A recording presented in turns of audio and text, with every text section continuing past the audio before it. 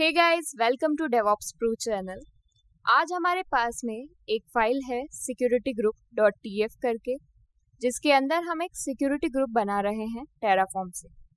जिसका नेम है dev underscore S जी और यहाँ पर आप देख पा रहे होंगे कि हमारे पास में मल्टीपल इनग्रेस और मल्टीपल ईग्रेस ब्लॉक्स हैं इस सिक्योरिटी ग्रुप के अंदर। जिनको नहीं पता है, उनके लिए मैं बता दूँ कि इनग्रेस का मतलब होता है इनबाउंड रूल्स और ईग्रेस का मतलब होता है आउटबाउंड रूल्स यानी कि हम AWS पर एक सिक्योरिटी ग्रुप बना रहे हैं, जिसके अंदर हम multiple inbound rules and multiple outbound rules को ओपन कर रहे हैं. हमारे पहले इनग्रेस ब्लॉक के अंदर हम पोर्ट ओपन कर रहे हैं 443 सेकंड वाले के अंदर 22 थर्ड वाले के अंदर 80 80 और फोर्थ वाले के अंदर 90 90 एंड फिफ्थ वाले के अंदर 5990 और सेम यहाँ पर ईग्रेस के अंदर भी हम चार अलग अलग पोर्ट्स को ओपन कर रहे हैं इस सिक्योरिटी ग्रुप के अंदर. अब एक बार इस फ़ाइल को सेव करते हैं और मैं आपको टेराफॉर्म प्लान कमांड चलाकर भी बता देती हूँ कि टेराफॉर्म हमारे लिए सारे defined ingress and egress rules को ओपन करते हुए हमारे लिए एक security group dev underscore S G name से ए डब्ल्यू एस पर क्रिएट करेगा। ये कोड बिल्कुल सही से वर्क कर रहा है, इसमें कोई दिक्कत नहीं है। बट क्या ये कोड आपको देखकर थोड़ा अजीब नहीं लग रहा है? इसी एक single a security group resource ने हमारी इतनी मल्टीपल लाइंस को कवर अप कर लिया है। कोड के अंदर इतने लाइंस ऑफ़ कोड सिर्फ़ हमने इसके लिए लिखे हैं। अगर हमें मल्टीपल इनग्रेस और ईग्रेस पोर्ट्स को ओपन करना है तो ये मल्टीपल नेस्टेड ब्लॉक्स को हमें बार बार रिपीट करना पड़ रहा है, जिसके अंदर बहुत सारी इन्फॉर्मेशन तो सेम ही है, सिर्फ़ पोर्ट नंबर ही चेंज हो रहे हैं। बट सिर्फ़ इन port different different ports number के लिए हमें ये मल्टीपल इनग्रेस के इस कोड को रिपीट करना पड़ रहा है इतनी बार। सेम ईग्रेस के केस में भी हमें इसको इतनी बार रिपीट करना पड़ रहा है। तो ये एक स्टैंडर्ड तरीका नहीं है। ना ही ये कोड दिखने में इतना अच्छा लग रहा है। एक डेवॉप्स इंजीनियर की रिस्पॉन्सिबिलिटी सिर्फ़ टेराफॉर्म से कोड लिखने तक की नहीं होती है। उसकी रेस्पॉन्सिबिलिटी होती है कि वो एक क्लीन और क्लियर कोड लिखे। क्योंकि अभी तो सिर्फ़ हम टेराफॉर्म को सीख रहे हैं। बट अगर आप सीखने के बाद जब रियल वर्ल्ड में काम करोगे तो वहाँ पर आपको थाउज़ेंड लाइन्स ऑफ़ कोड को लिखना पड़ेगा। तो आपको हमेशा ध्यान रखना होगा कि आप अपने कोड को प्रॉपर वे में स्टैंडर्ड तरीके से क्लीन और क्लियर तरीके से लिखें। और आपको वो सारे कॉन्सेप्ट भी पता होने चाहिए टेराफॉर्म के, जो टेराफॉर्म हमें फंक्शनलिटी प्रोवाइड करता है, जिससे हम अपने कोड को अच्छे से लिख सकें। जैसे कि वेरिएबल्स का कॉन्सेप्ट हो गया लोकल्स का हो गया डेटा सोर्स का हो गया, जो हमने लास्ट वीडियो में सीखा था। और आज जो हम सीखने वाले हैं, वो है डायनेमिक ब्लॉक्स का कॉन्सेप्ट ये सारे कॉन्सेप्ट आपको देखकर लगते होंगे कि इनमें कोई खतरनाक चीज़ नहीं है सीखने को। बट लेकिन ये सारे हेल्प करते हैं हमें, हमारे कोड को एक स्टैंडर्ड तरीके से लिखने में। तो हमें भी तो ये सब चीज़ें पता होनी चाहिए ना, कि किस तरह से हम हमारे कोड को एक रियल वर्ल्ड में जैसा काम आने वाला कोड है, उस तरह से लिख सकें। तो इसी को सीखने के लिए चलते हैं और आज का हमारा कॉन्सेप्ट जो कि है डायनेमिक ब्लॉक्स के बारे में, उसको पढ़ना स्टार्ट करते हैं, सीखना स्टार्ट करते हैं। डायनेमिक ब्लॉक्स हमें अलाउ करता है कि हम रिपीटेबल नेस्टेड ब्लॉक्स को डायनेमिकली कंस्ट्रक्ट कर सकें। यानी कि जो जो भी ऐसे ब्लॉक्स हैं, जो बार बार रिपीट हो रहे हों जैसे कि ये हमारा इनग्रेस का ब्लॉक जिसमें बहुत सारी इन्फॉर्मेशन तो सेम ही है, सिर्फ़ पोर्ट नंबर्स ही चेंज हो रहे हैं। तो ऐसे ब्लॉक्स के लिए हम डायनेमिक ब्लॉक बना सकते हैं, जिसमें ये सारा जो चेंज होने वाली इन्फॉर्मेशन है, जैसे कि पोर्ट नंबर वो हम डायनेमिकली पिक कर लेंगे और बाकी सारी इन्फॉर्मेशन सेम रहेगी और हमें इतने सारे ब्लॉक्स का भी यूज़ नहीं करना होगा। सिर्फ़ एक ब्लॉक के अंदर ही हमारा काम हो जाएगा। सेम इसको भी आप वापस से आप वेरिएबल्स लोकल्स जो हमने हमारी पिछली वीडियोस में कॉन्सेप्ट सीखे हैं, उन्हीं की तरह सोच सकते हैं इसको समझने के लिए कि जिस तरह से हम उनके अंदर एक रिपीटेबल वैल्यू या एक्सप्रेशन को एक सेंट्रल जगह पर लिख देते थे कोड के अंदर और फिर हम जहाँ पे भी यूज़ करना होता था, उनका नेम यूज़ कर लेते थे और अपने कोड को एक स्टैंडर्ड तरीके से लिखते थे।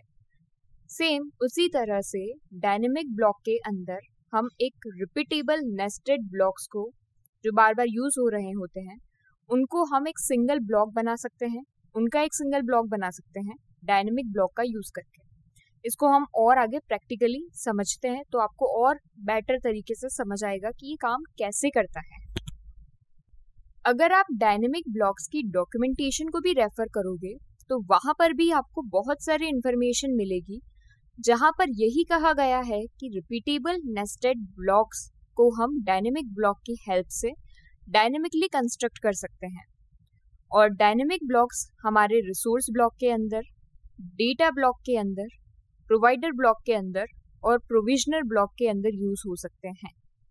यहाँ पर आपको बहुत सारे एग्जाम्पल्स भी मिल जाएँगे कि किस तरह से अलग अलग रिसोर्सेज के अंदर एक रिपीटेबल नेस्टेड ब्लॉक को डायनेमिकली कंस्ट्रक्ट किया जा सकता है।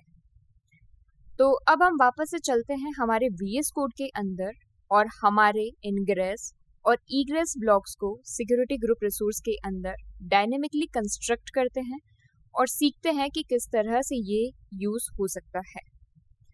डायनेमिक ब्लॉक्स का यूज़ करें, उससे पहले हम सबसे पहले दो वेरिएबल्स बना लेते हैं, एक इनकमिंग पोर्ट्स के लिए और एक आउटगोइंग पोर्ट्स के लिए।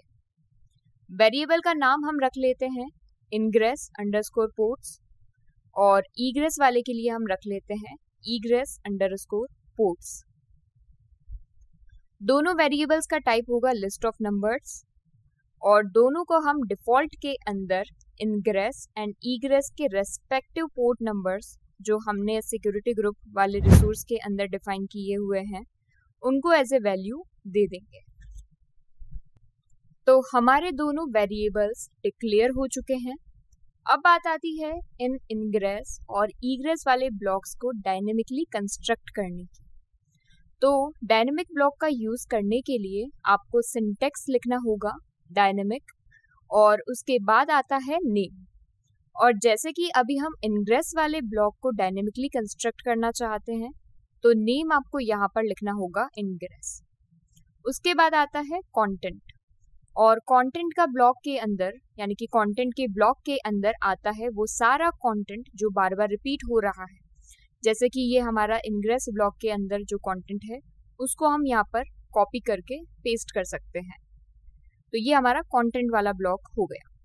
अब जैसे कि हम इन सारे इनग्रेस पोर्ट नंबर्स के लिए इनकमिंग ट्रैफ़िक को अलाउ करवाना चाहते हैं इस सिक्योरिटी ग्रुप के अंदर तो हमें इस डायनेमिक इनग्रेस ब्लॉक के अंदर यूज़ करना होगा फॉर ईच लूप और उसके आगे आएगा हमारा वो variable var dot ingress underscore ports इस लाइन का मतलब हुआ कि हमारा जो ये वेरिएबल है इनग्रेस अंडर स्कोर पोर्ट्स वो एक लिस्ट वेरिएबल है, जिसके अंदर पाँच पोर्ट नंबर्स हैं और इन सभी के लिए हम इनकमिंग ट्रैफ़िक अलाउ करवाना चाहते हैं। इसलिए हमने यहाँ पर फोर ईच लूप का यूज़ किया हुआ है, ताकि ये फोर ईच लूप एक एक एलिमेंट को उस लिस्ट से पिक करे और उन सभी के लिए ये डायनेमिक ब्लॉक को रन करे, ताकि सभी पोर्ट नंबर्स के लिए इनकमिंग ट्रैफ़िक इस सिक्योरिटी ग्रुप के अंदर अलाउ हो सके। और जब ये डायनेमिक ब्लॉक रन होगा फोर ईच लूप के साथ तो ये कुछ इस तरह से दिखेगा। ये बिल्कुल रन होने के बाद में ऐसा ही होगा जैसे हम अभी लिख रहे थे एक एक इनग्रेस ब्लॉक को रिपीट करके। और फोर ईच से जो वैल्यू आ रही है, यानी कि जब फोर ईच लूप चलेगा और जो वैल्यू लिस्ट वेरिएबल से पिक करेगा, उसको यहाँ पर हमें कंटेंट के अंदर from port and to port के अंदर भी देना होगा। जैसे हम मैन्युअली लिखते हैं, उसी तरह से। बट जैसे कि हमने यहाँ पर डायनेमिक ब्लॉक इनग्रेस के लिए कंस्ट्रक्ट किया है तो यहाँ पर जिससे वैल्यू आएगी, उससे लेने का तरीका यहाँ पर थोड़ा ध्यान देकर आपको समझना होगा। यहाँ पर हमारे पास लिस्ट से वैल्यू लेने के दो तरीके हैं। पहला, या तो आप यहाँ पर लिख सकते हैं इनग्रेस डॉट वैल्यू इनग्रेस इस डायनेमिक ब्लॉक का नेम है और फोर ईच से जो वैल्यू आ रही है, हम उसी को यहाँ पर यूज़ करना चाह रहे हैं। तो इसीलिए हमने यहाँ पर लिखा है इनग्रेस डॉट वैल्यू ये हमारे पोर्ट नंबर्स की वैल्यू होगी। जितनी बार ये उस लिस्ट वेरिएबल पर लूप करेगा और वेरिएबल से वैल्यू को पिक करेगा। इसीलिए हमने यहाँ पर इनग्रेस डॉट वैल्यू लिखा है। और ये डायनेमिक ब्लॉक फिर उन सभी वैल्यूज़ के लिए ये इनग्रेस ब्लॉक को कंस्ट्रक्ट करेगा।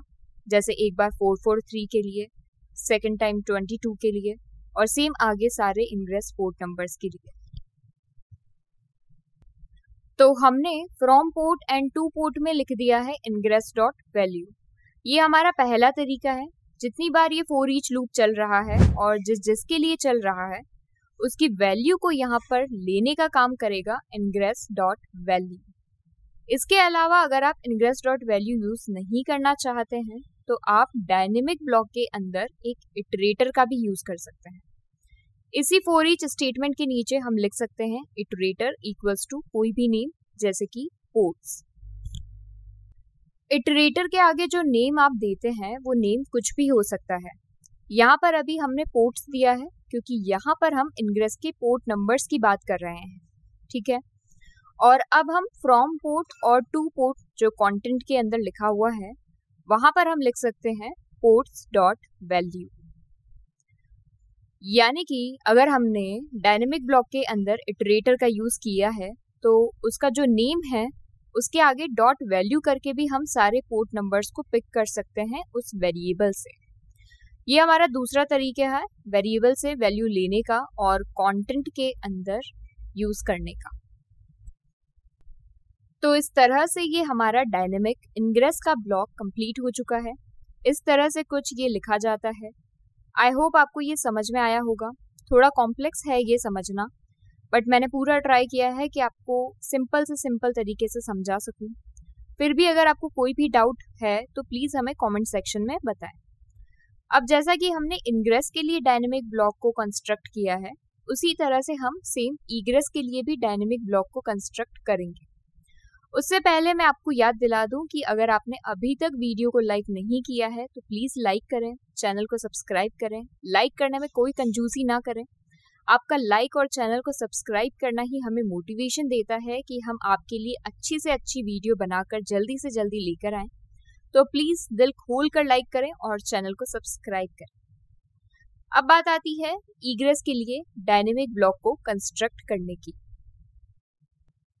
तो जैसे कि हमने ईग्रेस के भी सारे पोर्ट नंबर्स के लिए एक लिस्ट वेरिएबल बना ही रखा है ईग्रेस अंडरस्कोर पोर्ट्स नाम से, उसी का यूज़ हम यहाँ पर करेंगे। सबसे पहले हम लिखेंगे डायनेमिक और इस बार हमारे डायनेमिक ब्लॉक का नेम होगा ईग्रेस उसके बाद हम यहाँ पर यूज़ करेंगे सेम फोर ईच लूप और जो हमारा लिस्ट वेरिएबल है, उस पर ये फोर ईच लूप हम चलाएँगे। यानी कि फोर ईच के आगे लिखेंगे वार डॉट वेरिएबल का नेम ईग्रेस अंडरस्कोर पोर्ट्स और इस डायनेमिक ब्लॉक के अंदर हम इटरेटर का यूज़ नहीं कर रहे हैं, इसलिए यहाँ पर कंटेंट के अंदर फ्रॉम पोर्ट और टू पोर्ट के अंदर वैल्यू को लेने के लिए पोर्ट नंबर्स की, हम लिखेंगे ईग्रेस डॉट वैल्यू तो इस तरह से हमारा ईग्रेस ब्लॉक कंस्ट्रक्ट हो चुका है और इसके साथ साथ ही हमारे दोनों डायनेमिक ब्लॉक इनग्रेस के लिए और ईग्रेस के लिए रेडी हैं। अब एक बार इस फ़ाइल को सेव करते हैं और रन करते हैं टेराफॉर्म अप्लाई कमांड तो टेराफॉर्म अप्लाई कमांड रन होने के बाद आप उसके आउटपुट में देख पा रहे होंगे कि ये हमारे लिए एक सिक्योरिटी ग्रुप क्रिएट कर रहा है dev underscore S G name से, जिसके अंदर ये हमारे लिए फाइव इनग्रेस के पोर्ट नंबर्स को लेकर इनबाउंड रूल्स को ओपन कर रहा है। और साथ साथ ही फोर ईग्रेस के पोर्ट नंबर्स को लेकर आउटबाउंड रूल्स को ओपन कर रहा है। ये सारे वही पोर्ट नंबर्स हैं जो हमने कोड के अंदर डिफाइन किए हैं। एक बार हम इसको अप्लाई कर देते हैं और अप्लाई को कंप्लीट होने देते हैं और फिर कंसोल पर जाकर देखते हैं कि क्या हमारा ये सिक्योरिटी ग्रुप जो हमने इनग्रेस और ईग्रेस रूल्स दिए हैं उनके साथ बनकर आता है या नहीं। तो अप्लाई कंप्लीट होने के बाद आप कंसोल पर देख पा रहे होंगे कि हमारा एक सिक्योरिटी ग्रुप बन गया है dev underscore S G name से। और उनके अंदर फाइव इनग्रेस के पोर्ट नंबर्स हैं। ये वही पोर्ट नंबर्स हैं जो हमने कोड में दिए थे। और साथ साथ ही इस सिक्योरिटी ग्रुप में चार ईग्रेस के पोर्ट नंबर्स भी हैं और ये भी वही हैं जो हमने हमारे कोड में दिए थे। तो इस तरह से आज हमने डायनेमिक ब्लॉक्स का यूज़ करके एक सिक्योरिटी ग्रुप टेराफॉर्म से बनाया और उसमें मल्टीपल इनग्रेस और ईग्रेस पोर्ट्स को ओपन करवाया। आज एक नया कॉन्सेप्ट सीखा है, जो रियल वर्ल्ड के अंदर यूज़ होता है। आई होप आपको ये कॉन्सेप्ट समझ आया होगा। टॉपिक थोड़ा कॉम्प्लेक्स था बट आप जितनी हो सके प्रैक्टिस करें। इसको यूज़ करके देखें। कोई भी, कहीं भी दिक्कत हो तो हमें कमेंट सेक्शन में ज़रूर बताएँ। अगर आप क्यूबिनिटीज़ भी सीखना चाहते हैं तो क्यूबिनिटीज़ की प्लेलिस्ट भी हमने बना रखी है। आप उसे भी चेकआउट कर सकते हैं। बाकी यहीं इस वीडियो को एंड करते हैं और मिलते हैं नेक्स्ट वीडियो के अंदर और भी शानदार टॉपिक्स के साथ में। Thank you